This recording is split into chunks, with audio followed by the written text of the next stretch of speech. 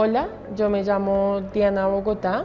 vivo en el barrio Lomas de la localidad 18 de Rafael Uribe Uribe. Mis hijos se encuentran en el Jardín Nueva Acacias, el jardín pues es bastante grande, tienen muy bien cuidados a nuestros hijos, están desde las 7 de la mañana hasta las 4 de la tarde, donde cada uno de los profesores pues busca la manera de acercarse a nuestros hijos y de brindarle el cuidado como si estuvieran en nuestra propia casa. De pronto también brindan una alimentación que nosotros en nuestros hogares no les podemos brindar. Yo me he visto beneficiada de muchas maneras porque me han brindado un apoyo y obviamente una educación a mis hijos muy grande. No, pues me parece maravilloso que nos apoyen en este momento en que hay muchas madres, mujeres solteras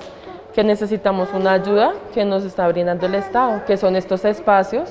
donde no solamente educan a nuestros hijos, sino también los alimentan y les enseñan muchísimas cosas.